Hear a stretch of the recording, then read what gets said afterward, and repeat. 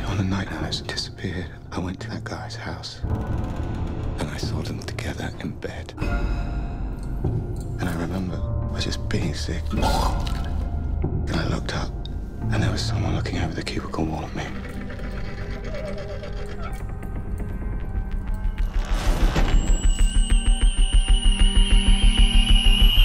This is the man that killed Alice. Dad, when will Mummy be coming back? I miss her. Some films came in from the police archive. Do you look at them for me? Hey, that's my road. I know this sounds crazy, but this is the same man I saw on the night Alice was murdered. I knew what I seen was real. Tell me you believe this.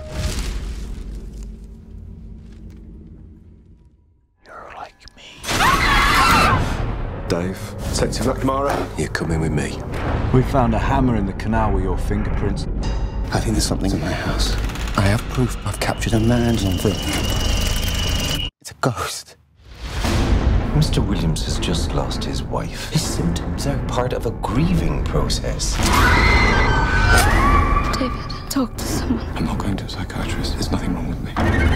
I've seen things, I've heard things, and it's the only rational explanation. I explanation. don't think it is. Yes, it is. Oh, you didn't kill her, did you? I love my wife. People always suspect the husband.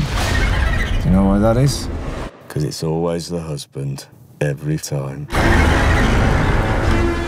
I didn't do it. Look, I'm not going insane. You ever see other people in the house?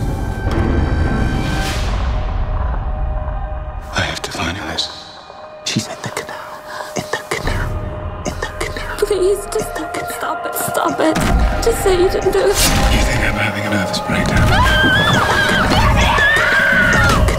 Oh, maybe I am.